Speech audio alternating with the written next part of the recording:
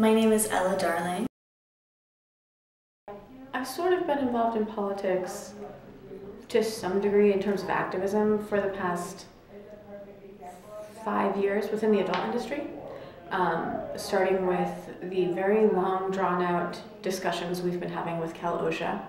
Um, in the past year, uh, since the last AEE, a lot of things have happened for me. So um, I became the president of the Adult Performer Advocacy Committee. Uh, previously, I served as secretary on the board for two years. Um, and we're doing a lot of stuff with that, which we'll get to later. Um, we also, last year, was all about Prop 60. Prop 60 was a dangerous, poorly formulated law that would have absolutely hurt people. Um, Prop 60 said that any resident of California can sue an entire porn production, anybody who has a financial stake in the production, uh, if they even think that there isn't a condom visible in even one frame of the film. If there was a condom used and it simply wasn't visible, then obviously the, the suit would be thrown out.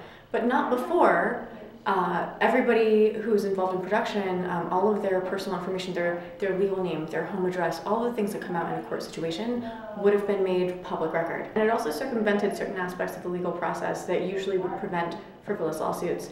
Um, the people who would have been liable in this it's anyone with financial stake. That means if I'm a performer and I use an affiliate code to sell my scenes that someone else shoots, that includes me. It's the director, it's the photographer, it's the cameraman, it's the hairstylist, it's the makeup artist, it's the person who owns the place that you're renting to shoot in.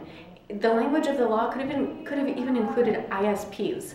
It was overreaching and it was just a bad law. And uh, luckily, over the past year, um, APAC, the Free Speech Coalition, and a huge uh, alliance of performers all came forth to fight it, and we defeated it. We were able to get the Democratic Party, the Republican Party, and the Libertarian Party uh, of California to oppose Prop 60.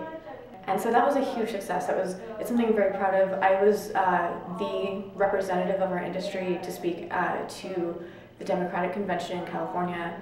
Um, I was the performer representative at a really big meeting with uh, senators, legislators, just everybody at, uh, in the state capitol. It was one of the most empowering moments in my career because it showed me that when we all come together, when we all identify a common goal and we work towards it, we can achieve it.